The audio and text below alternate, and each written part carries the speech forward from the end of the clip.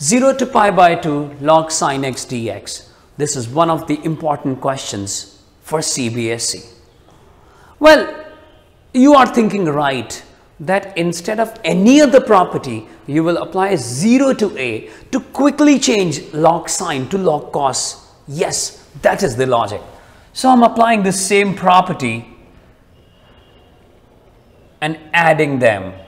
So the time we add equation number 1 with equation number 2, we get twice of i and this becomes 0 to pi by 2 log sine x plus log cos x. What is log m plus log n? You got it right. Log m plus log n is log mn. So you reach to log sine x into cos x. Again you are thinking right that sine x and cos x should be converted to sine 2x. So don't wait, multiply and divide by 2 inside. Like this. And you get sine 2x by 2 multiplying and dividing by 2 and you get sine 2x by 2. Now what? You apply log m by log n and you get this.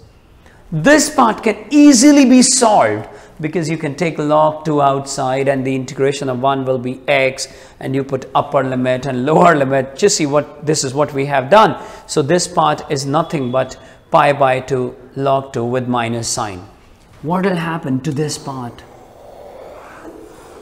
This is a big question mark.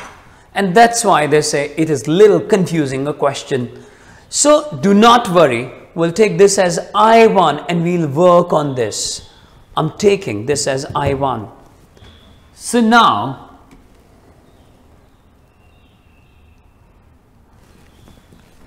and before that we have 2i and the integration of that second part is now minus pi by 2 log 2. So only this I1 is a trouble. So I1, what you're thinking? Yes, you're thinking right. It is not a deviated part, but what you have to do, you have to put 2x is equal to t try to come back to the original question. In terms you put 2x is equal to t. Obviously you are changing the respect dt over t. Also changing the limits. The lower limit is 0 obviously t will be 0 the upper limit is pi by 2 it is t is equal to pi because it is 2x so pi by 2 into 2 is pi.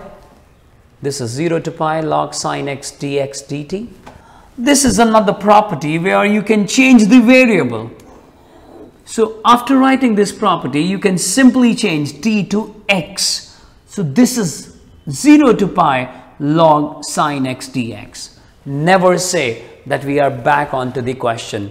No, only the expression is same. You are missing on the limits. The limits were 0 to pi by 2 and we have 0 to pi. Now the third phase comes that we had to work on the limit part.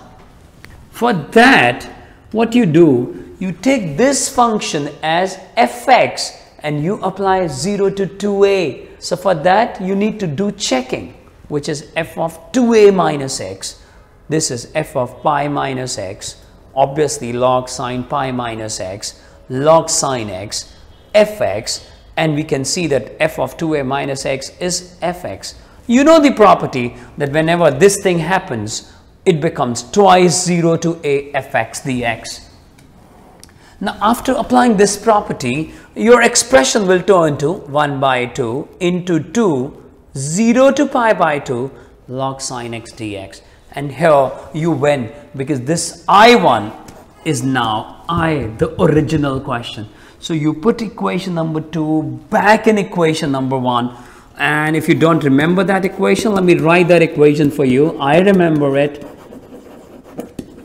This is that equation and you replace I1 with I.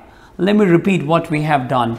Initially, when we took I1, this was the expression with us. We were, we were very happy with the limits because 0 to pi by 2, but we worked on 2x. So by substituting 2x is equal to t, we got log sine t dt, but the limits were changed. So then we worked on limits. For that, what we did, we took fx is equal to log sine x and we applied f of 2a minus x. So this is very important because now we are using 0 to 2a fx dx.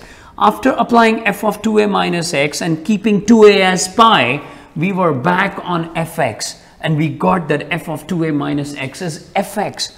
So this is the point where we changed the limits, rather we broke the limits to 50% and this is 1 by 2 into 2, 0 to pi, 0 to pi by 2 log sine x dx and i1 became i and we substituted i in place of i1 and the equation became 2i equals i minus pi by 2 log 2 and your answer is minus pi by 2 log 2.